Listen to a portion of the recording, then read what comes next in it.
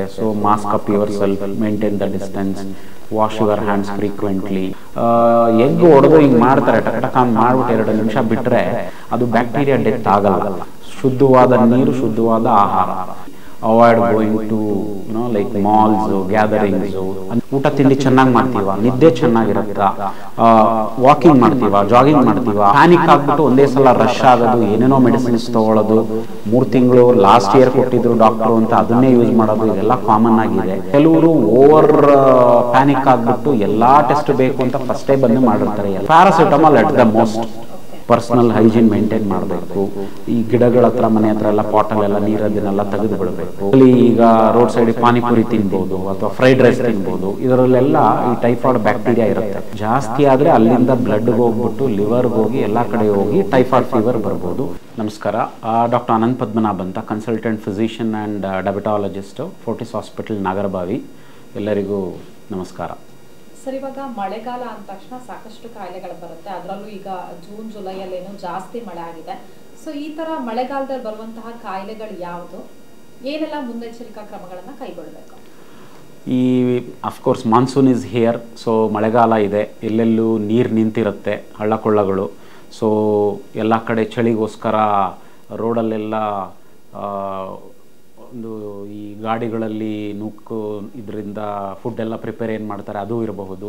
So ಈ ಕಾರಣಗಳಿಂದ hygiene problems ಆಗಿ ಕಾಯಿಲೆಗಳು ಬರೋದು ಸಾಮಾನ್ಯ seasonal diseases for the seasonal people ಥರ ಸೊ ಜನ್ರಲಿ ನೀರು ನಿಂತಿರೋ ಕಾರಣ mosquito borne diseases common so ಅದರಲ್ಲಿ ಡೆಂಗು ಆಗಿರ್ಬೋದು ಬಿಕಾಸ್ ಆಫ್ ಎಡಿಸ್ ಈಜಿಪ್ಟೈ ಅಥವಾ ಮಲೇರಿಯಾ ಆಗಿರ್ಬೋದು ಅನಾಫಿಲಿಸ್ ಮಸ್ಕಿಟೋ ಇಂದ. ಸೊ ಇದು ಎಲ್ಲ ಕಾಮನ್ ಆಗುತ್ತೆ.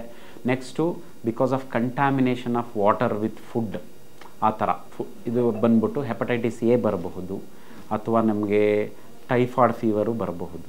ಓಕೆ ಸಿನ್ಸ್ ಮಾನ್ಸೂನ್ ಇರೋ ಕಾರಣ ಪ್ರಾಬಬ್ಲಿ ಚಿಲ್ಡ್ ವೆದರು ಈ ಥರ ಎಲ್ಲ ಇರೋ ಕಾರಣ ಈ ನಮ್ಮ ಪರಿಸರದಲ್ಲಿ ಏರೆಲ್ಲ ಕ್ವಾಲಿಟಿ ಎಲ್ಲ ಚೇಂಜ್ ಆಗಿರೋ ಕಾರಣ even respiratory infections like viral bronchitis ಎಲ್ಲ ಕಾಮನ್ ಆಗಿ ಕಂಡುಬರುತ್ತೆ ಈ ಸೀಸನಲ್ಲಿ ಓಕೆ ಏನೆಲ್ಲ ಮುಂಜಾಗ್ರತಾ ಕ್ರಮಗಳನ್ನ ಕೈಗೊಳ್ಳಬೇಕು ಈಗ ಒಂದು ಮಕ್ಕಳು ಕೂಡ ಸ್ಕೂಲ್ಗೆ ಹೋಗ್ತಿರ್ತಾರೆ ಹೌದು. ಹಾಲಿಡೇ ಮುಗಿಸ್ಕೊಂಡು ಹೋಗ್ತಾರೆ ಸೊ ಆ ಟೈಮಲ್ಲಿ ಪೇರೆಂಟ್ಸ್ ಮತ್ತೆ ಏಜ್ ಆದವ್ರು ಇರ್ತಾರೆ ಸೊ ಅವರಿಗೆಲ್ಲ ಏನೆಲ್ಲ ಮುಂಜಾಗ್ರತಾ ಕ್ರಮಗಳನ್ನ ಕೈಗೊಳ್ಳಬೇಕು ಈಗ ಡಿಸೀಸ್ ಸ್ಪೆಸಿಫಿಕ್ ಆಗಿ ನಾವು ಮುಂಜಾಗ್ರತಾ ಕ್ರಮಗಳು ಅಂತ ತಗೊಂಡ್ರೆ ಈಗ ವೈರಲ್ ಬ್ರಾಂಕೈಟಿಸ್ ಅಂತ ಹೇಳ್ತೀವಿ. ನಾವು ಆಲ್ರೆಡಿ ಕೋವಿಡ್ ಸೀಸನ್ ಎಲ್ಲ ನೋಡಾಗೋಗಿದೆ so mask up yourself maintain the distance wash your hands frequently avoid going to you know like malls gatherings ಅನ್ನೆಸೆಸರಿಯಾಗಿ ತುಂಬ ಇರೋ ಕಡೆ ಎಲ್ಲ ಪ್ರಯಾಣ ಮಾಡೋದು ಎಲ್ಲ ಅವಾಯ್ಡ್ ಮಾಡಬೇಕು. ಸೊ ಈ ಒಂದು ಮುಂಜಾಗ್ರತೆ ತಗೊಂಡ್ರೆ ವೈರಲ್ ಬ್ರಾಂಕೈಟಿಸು ಮತ್ತು ಕಾಮನ್ ರೆಸ್ಪಿರೇಟರಿ ವೈರಸಸ್ನೆಲ್ಲ ಅವಾಯ್ಡ್ ಮಾಡಬಹುದು. ಹಾಗೆ ಈಗ ನೀವು ಈಗ ನಾವು ಟೈಫಾಯ್ಡ್ ಹೇಳ್ತೇವೆ ಜನರಲಿ ಈಗ ರೋಡ್ ಸೈಡ್ ಪಾನಿಪುರಿ ತಿನ್ಬೋದು ಅಥವಾ ಫ್ರೈಡ್ ರೈಸ್ ತಿನ್ಬೋದು. ಇದರಲ್ಲೆಲ್ಲ ಈ ಟೈಫಾಯ್ಡ್ ಬ್ಯಾಕ್ಟೀರಿಯಾ ಇರುತ್ತೆ. ಅದು they may not have too much of time to kill bacteria ಪಾನಿಪುರಿದೆಲ್ಲ ಏನಿರುತ್ತೆ? ಎಲ್ಲ ಹಾಗಾಗಿ ಕೈ ಎಜ್ಜೋದು, ಇದೆಲ್ಲ ಫೀಕೋವರಲ್ ರೂಟಲ್ಲೆಲ್ಲ ಟ್ರಾನ್ಸ್ಮಿಟ್ ಆಗುತ್ತೆ. ಅಂದರೆ ಪರ್ಸ್ನಲ್ ಹೈಜೀನ್ ಇರಲಿಲ್ಲ ಮಾಡಿ ಮಾರವರು. ಆವಾಗ ಅದರಿಂದ ನೀರೆಲ್ಲ ಕಂಟಾಮಿನೇಷನ್ ಆಗಿ ನಾವು ಅದನ್ನೇ ತಿಂತೀವಿ. ಈ ಕೋಳಿಗಳಿರುತ್ತಲ್ಲ, ಎಗ್ ಏನದು ಇಡುತ್ತಲ್ಲ, ಅದ್ರ ಶೆಲ್ಸಲ್ಲೆಲ್ಲ ಬ್ಯಾಕ್ಟೀರಿಯಾ ಇರುತ್ತೆ. ಅದು ಫಾರ್ ಫ್ಯೂ ಡೇಸ್ ಇದ್ದೇ ಇರುತ್ತೆ bacteria until unless it is like heat ಆಗಲಿ ತುಂಬ ಹೀಟ್ ಫ್ರೈಡ್ ಎಲ್ಲ ಆಗಿ ತುಂಬ ಹೊತ್ತು ಬೇಯಿಸಿದ್ರೆ ಮಾತ್ರ ಹೋಗ್ಬೋದು. ಅದರ್ವೈಸು ಎಗ್ ಹೊಡೆದು ಹಿಂಗೆ ಮಾಡ್ತಾರೆ, ಟಕ ಟಕ ಅಂತ ಮಾಡಿಬಿಟ್ಟು ಎರಡು ನಿಮಿಷ ಬಿಟ್ಟರೆ ಅದು ಬ್ಯಾಕ್ಟೀರಿಯಾ ಡೆತ್ ಆಗಲ್ಲ. ಸೊ ನಾವು ಅದನ್ನು ಸೇವಿಸಿದಾಗ ಅದು ಹೊಟ್ಟೆಲೆಲ್ಲ ಗ್ರೋತ್ ಆಗಿಬಿಟ್ಟು ಅಲ್ಲಿಂದ ಎಂಟ್ರಿಕ್ ಫೀವರ್ ಅಂತ ಶುರು ಆಗುತ್ತೆ ಕಾಮನ್ ಆಗಿ ಲೂಸ್ ಮೋಷನ್ಸ್ ಹೊಟ್ಟೆ ನೋವು ಎಂಡ್ ಆಗಬಹುದು. ಜಾಸ್ತಿ ಆದರೆ ಅಲ್ಲಿಂದ ಬ್ಲಡ್ಗೆ ಹೋಗ್ಬಿಟ್ಟು ಲಿವರ್ಗೆ ಹೋಗಿ ಎಲ್ಲ ಕಡೆ ಹೋಗಿ ಟೈಫಾಯ್ಡ್ ಫೀವರ್ ಬರ್ಬೋದು. ತುಂಬ ಜಾಸ್ತಿ ಆದರೆ ಇಂಟೆಸ್ಟೈನಲ್ ಅಬ್ಸ್ಟ್ರಕ್ಷನ್ಸ್ ಸೊ ಅಥವಾ ಅದು ರಪ್ಚರ್ ಅಲ್ಸರ್ಸ್ ಆಗ್ಬಿಟ್ಟು ರಪ್ಚರ್ ಸಹ ಆಗ್ಬೋದು. ಇಟ್ ಮೇಲ್ ಇಟ್ಟು to serious complications also surgery ತನಕ ಬರಬಹುದು. So many times there could be to critical stages also even in typhoid fever ಹಾಗೆ ಇನ್ನು ನಾವು ಇನ್ನು ಅದರ್ ಸ್ಪೆಸಿಫಿಕ್ ವೆಕ್ಟರ್ ಬಾಂಡ್ ಡಿಸೀಸಸ್ ಈ ಅನಾಫಿಲಿಸ್ ಮಸ್ಕಿಟೋಸು ಎಲ್ಲ, ನೀರು ನಿಂತಿರೋ ಕಡೆ ಮಾನ್ಸೂನಲ್ಲೆಲ್ಲ ಸೊ ಮಸ್ಕಿಟೋ ರಿಪೆಲೆಂಟ್ಸ್ ಯೂಸ್ ಮಾಡಬೇಕು ಪರ್ಸ್ನಲ್ ಹೈಜೀನ್ ಮೇಂಟೈನ್ ಮಾಡಬೇಕು, ಈ ಗಿಡಗಳ ಹತ್ರ, ಮನೆ ಹತ್ರ ಎಲ್ಲ ಪಾಟಲ್ಲೆಲ್ಲ ನೀರದನ್ನೆಲ್ಲ ತೆಗೆದು ಬಿಡಬೇಕು, ಈ ಮಸ್ಕಿಟೋ ನೆಟ್ ಯೂಸ್ ಮಾಡಬೇಕು. ಸೊ ಮಕ್ಕಳಿಗೆ ಹೊರಗಡೆ ಎಲ್ಲ ಸ್ಕೂಲ್ಗೆ ಮತ್ತು ಇದಕ್ಕೆಲ್ಲ ಹೋಗ್ಬೇಕಾದ್ರೆ ಫುಲ್ ಸ್ಲೀವ್ಸ್ ಮತ್ತು ಪ್ಯಾಂಟ್ಸು ಸಾಕ್ಸ್ ಆ್ಯಂಡ್ ಶೂಸು ಇದನ್ನೆಲ್ಲ ಹಾಕಿ ಕಳಿಸ್ಬೇಕು. ಇದರಿಂದ ಮಸ್ಕಿಟೋ ಬೈಟ್ಸ್ ಅವಾಯ್ಡ್ ಆದರೆ ಜನರಲಿ ಅದರಿಂದ ಬರುವಂಥ ಕಾಯಿಲೆಗಳೆಲ್ಲ ಅವಾಯ್ಡ್ ಆಗುತ್ತೆ. ಹಾಗೆ ಅನ್ಹೈಜಿನಿಕ್ ಫುಡ್ ಅವಾಯ್ಡ್ ಮಾಡಬೇಕು. ಬಿಸಿನೀರು ತಗೊಳ್ಳೋದು ಭಾಳ ಒಳ್ಳೆಯದು ಶುದ್ಧವಾದ ನೀರು, ಶುದ್ಧವಾದ ಆಹಾರ. ಈ ಇಮ್ಯುನಿಟಿ ಅಂತ ಬರೋದು ತುಂಬ ಜನ ನಮ್ಮಲ್ಲಿ ಬಂದು ಕೇಳ್ತಾರೆ ಇಮ್ಯುನಿಟಿ ಇಲ್ವಾ, ಪದೇ ಪದೇ ಇನ್ಫೆಕ್ಷನ್ ಬರ್ತಿದೆ ಅಂತೆಲ್ಲ ಇಮ್ಯುನಿಟಿ ಒಂದು, ಎರಡು, ಮೂರು ದಿನದ ಬರೋದಂಥ ಒಂದು ಪವರ್ ಅಲ್ಲ. It is a long term ಒಂದು ಜೆನೆಟಿಕಲಿ ರಿಲೇಟೆಡ್ ಇರುತ್ತೆ. ನಿಮ್ಮ ತಂದೆ ತಾಯಿ ಎಲ್ಲ ಹೇಗಿದ್ದರು ಚೆನ್ನಾಗಿದ್ರಾ, ಅವ್ರು ಎಷ್ಟು ತನಕ ಬಾಳಿ ಬದುಕಿದ್ರು, ಅವ್ರಿಗೆ ಶುಗರ್ ಇದೆಯಾ, ಬಿ ಪಿ ಇದೆಯಾ, ಅವರು ಚೆನ್ನಾಗೇ ಇದ್ದಾರಾ, ಅವ್ರಿಗೆ ಬೇರೆ ಏನಾದ್ರು ಕಾಯಿಲೆಗಳಿದೆಯಾ ಅದು. ನೆಕ್ಸ್ಟು ಫಿಫ್ಟಿ ಪರ್ಸೆಂಟ್ ನಾವು ಎನ್ವಿರಾನ್ಮೆಂಟಲ್ ಕಾಸಸ್ ನಾವು ಹೇಗಿರ್ತೀವಿ ಈಗ? ಊಟ, ತಿಂಡಿ ಚೆನ್ನಾಗಿ ಮಾಡ್ತೀವ? ನಿದ್ದೆ ಚೆನ್ನಾಗಿರುತ್ತಾ? ವಾಕಿಂಗ್ ಮಾಡ್ತೀವ? ಜಾಗಿಂಗ್ ಮಾಡ್ತೀವ? ಆಹಾರ ಚೆನ್ನಾಗಿರುತ್ತಾ? ತುಂಬ ಹೊರಗಡೆ ಎಲ್ಲ ತಿಂತೀವ? ಇದ್ರ ಮೇಲೆ. ಇದ್ರ ಮೇಲೆ ನಮ್ಮ ಇಮ್ಯುನಿಟಿ ಡಿಪೆಂಡ್ ಆಗುತ್ತೆ. ಪದೇ ಪದೇ ಬರೋದು ಕಾಯಿಲೆಗಳು ಈ ವೈರಸ್ ಎಲ್ಲ ಚೇಂಜ್ ಆದಾಗ ಎಲ್ಲ ಸ್ವಲ್ಪ ಸಫರ್ ಆಗೇ ಆಗುತ್ತೆ. ಈಚ್ ಸೀಸನ್ಗೆ ಒಂದೊಂದು ವೈರಸ್ಸು ಒಂದೊಂದು ಸ್ವಲ್ಪ ಮ್ಯೂಟೇಷನ್ ಆಗಿ ಚೇಂಜ್ ಆದರೆ ಸ್ವಲ್ಪ ಅದರಿಂದ ಬಳಲೋದು ಸ ಕಾಮನ್ ಅದನ್ನೇನು ಅಂಥ ಇಮ್ಯುನಿಟಿನೇ ಇಲ್ಲ ಅಂತ ಏನು ಬರಲ್ಲ.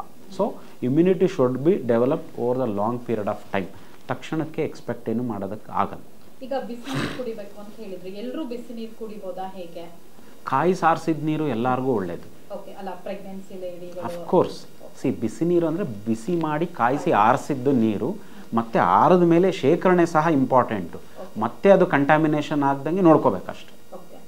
ಜೊತೆಗೆ ಇದು ಯಾವ್ದಾದ್ರು ಈಗ ಸ್ವಲ್ಪ ಜ್ವರ ಎಲ್ಲ ಬಂದ್ರೆ ತಕ್ಷಣ ಹಾಸ್ಪಿಟ್ಲಿಗೆ ಹೋಗ್ಬೇಕಾ ಹೇಗೆ? ಅಥವಾ ಕೆಲವ್ರು ಏನ್ ಮಾಡ್ತಾರೆ ಯಾವ್ದೋ ಇರೋ ಟ್ಯಾಬ್ಲೆಟ್ಸ್ನ ತಗೊಂಡು ಕಡಿಮೆ ಆಗತ್ತೆ ಅಂತ ಸುಮ್ಮನೆ ಇರ್ತಾರೆ. ಸೊ ಅಂತವ್ರಿಗೆ ಏನ್ ಸಜೆಷನ್ ಕೊಡ್ತೀರಾ? ಜನರಲಿ ಒಂದ್ಸಲ ಫೀವರ್ ಬಂದಾಗ ಸ್ಪೆಸಿಫಿಕಲಿ ಸೀಸನ್ ಚೇಂಜ್ ಆದಾಗ ತುಂಬಾ ವೆದರ್ ಎಲ್ಲ ಚೇಂಜ್ ಆದಾಗ ಸ್ವಲ್ಪ ಅದು ಆ ಸೀಸನ್ಗೆ ಅಡ್ಜಸ್ಟ್ಮೆಂಟ್ ಆ್ಯಂಡ್ ಪ್ರಾಬಬ್ಲಿ ಈ ಥರ ಸ್ವಲ್ಪ vector bond diseases or whatever viral diseases ಎಲ್ಲ ಇರಬಹುದು. ಆವಾಗ ಇಟ್ ಡಿಪೆಂಡ್ಸ್ ಆನ್ ಸಿಮ್ಟಮ್ಸು ಮತ್ತು ಆವಾಗ ಈಗ ಲಕ್ಷ ಕಾಯಿಲೆಗಳು ಏನಾದರೂ ಎಪಿಡೆಮಿಕ್ ಪ್ಯಾಂಡಮಿಕಲ್ಲಿ ಯಾವುದಾದ್ರೂ ರೀತಿ ಇದೆಯಾ? ಅಥವಾ ಇಟ್ ಸ್ಟ್ಯಾಂಡ್ ಅಲೋನ್ ಆ ಥರ ಏನಾದರೂ ಇದೆಯಾ? ಅದನ್ನು ನೋಡ್ಕೊಂಡು ಡಿಪೆಂಡ್ ಆಗುತ್ತೆ. ಸೊ ಈಗ ಪ್ಯಾನಿಕ್ ಆಗಿಬಿಟ್ಟು ಒಂದೇ ಸಲ ರಶ್ ಆಗೋದು, ಏನೇನೋ ಮೆಡಿಸಿನ್ಸ್ ತೊಗೊಳ್ಳೋದು ಮೂರು ತಿಂಗಳು ಲಾಸ್ಟ್ ಇಯರ್ ಕೊಟ್ಟಿದ್ರು ಡಾಕ್ಟ್ರು ಅಂತ ಅದನ್ನೇ ಯೂಸ್ ಮಾಡೋದು ಇದೆಲ್ಲ ಕಾಮನ್ ಆಗಿದೆ. ಸೊ ನಾವು ಯಾವ ಒಂದು ಸ್ಟೇಜಲ್ಲಿ ಆ್ಯಂಟಿಬಯೋಟಿಕ್ ಬೇಕು, ಯಾವ ಸ್ಟೇಜಲ್ಲಿ ಆ್ಯಂಟಿವೈರಲ್ ಬೇಕು, ಯಾವ ಸ್ಟೇಜಲ್ಲಿ ಪ್ಯಾರಾಸಿಟಮಾಲು ಈ ಫೀವರ್ ಕಡಿಮೆ ಆಗಂತ ಬೇಕು ಅನ್ನೋದೊಂದು ಎಲ್ಲ ಇರುತ್ತೆ. ಅದೇ ಥರ ಕಾಯಿಲೆಗಳದ್ರ ಮೇಲೆ ಯಾವ ಸ್ಟೇಜಲ್ಲಿ ಯಾವ ಟೆಸ್ಟನ್ನು ಮಾಡಬೇಕು ಅಂತಲೂ ಇರುತ್ತೆ. ಕೆಲವರು ಓವರ್ ಪ್ಯಾನಿಕ್ ಆಗಿಬಿಟ್ಟು ಎಲ್ಲ ಟೆಸ್ಟ್ ಬೇಕು ಅಂತ ಫಸ್ಟೇ ಬಂದು ಮಾಡಿರ್ತಾರೆ. ಎಲ್ಲ ನೆಗೆಟಿವ್ ಇರ್ಬೋದು still fever hundred and four degree Fahrenheit ಸಹ ಇರಬಹುದು ಅಥವಾ ಕೆಲವರು ಡೇ ಒನ್ನಿಂದನೇ ಲಾಸ್ಟ್ ಇಯರ್ ಕೊಟ್ಟಿದ್ರು ಅಂತ ಯಾವುದೋ ಆ್ಯಂಟಿಬಯೋಟಿಕ್ಕು ಯಾವುದೋ ಆ್ಯಂಟಿವೈರಲ್ಲೂ ಉಪಯೋಗಿಸ್ಬೋದು. ಅದೆಲ್ಲ ಸರಿಯಾಗಲ್ಲ.